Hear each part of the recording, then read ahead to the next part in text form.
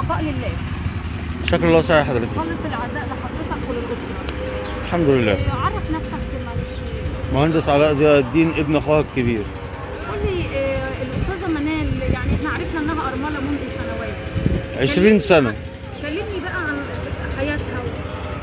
دي أرملة بقى لها 20 سنة شغالة في التربية والتعليم. إيه، حصل بظروفها حريقة في بيتها وكانت هي برضه لوحدها.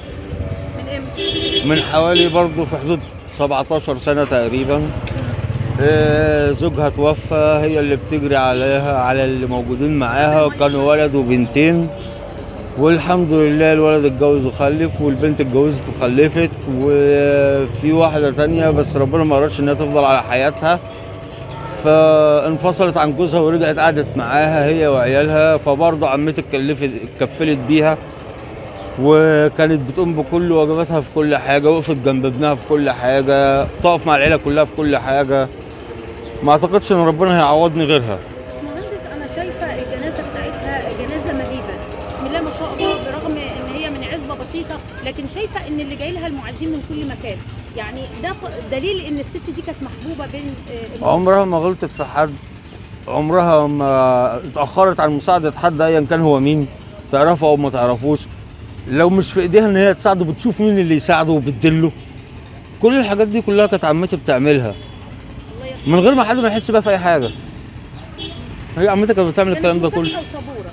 جداً. من يعني. جدا وبتضحك في وش الناس كلها وعمرها ما زعلت حد من الناس. آخر مرة أنت شفت الاستاذه دي من الجمعة اللي فاتت. هل كان في حديث بينكم؟ ملخص الحديث لو تحب يعني. آه يعني كان فيه هزار وضحك بين أنا وهي. هي بتحبني جدا على فكرة وأنا بموت فيها. نقعد نعكس في بعض أنا وهي. إيه، سلام. بهزر معاها وقلت لها بصي يا عمتي والله العظيم لا أخد سبحه من السبحتين اللي معاكي دول. حافظت على الاثنين لأن كانت واحدة من ست اللي هي أمها الله يرحمها والتانية كانت من جوزها عم زكريا الله يرحمه. فقعدت أهزر معاها. طب والله ما أنا طالع من عندك غير لما أخد حاجة ذكرى ادتني سبحة هي كانت شارياها وهي جاية من السعودية. الله يرحمها يا رب يعني وبعدين مفيش كلام أقدر أقول أكتر من كده عنها. يعني إحنا بنطلب من الناس خالص الدعوات ليها طبعا يعني. بسيطة إن شاء الله يعني. يمكن حضرتك صورت عايز شفت فيه قد إيه؟ خبر حضرتك مين قال لك؟ مين اللي قال لنا الخبر؟ أنا اللي لازم أقول الخبر عشان أكبر أكبر واحد. يعني الخبر جالك انت منين إن هي؟ جالي الفجر من حمادة ابنها إزاي هي توفت إمتى؟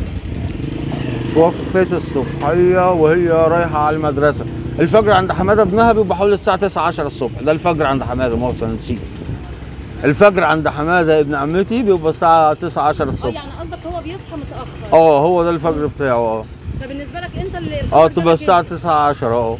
توجهت طبعا على الم... ما استنيتش أساسا. السلام ورحمة الله انت وبركاته اللي طبعا كنت بتتابع الإجراءات. ما استنيتش أي حاجة وما فيش حد في البلد كلها. الكوم اللي انت شفتيه كان مستني إن حد يقول له اعمل كنت انت بتسارع اول واحد طبعا أنا على بال ما جيت جري لحد هنا ورحت إن أنا أفكر بس أسأل إن هم تصريح الدفنه طلع ولا لأ. لقيتهم مطلعين تصريح الدفنه العربية بتاعت الدكاترة اللي جاب اللي يعني كاشف عليها. كبير من بالهبل و... بالهبل.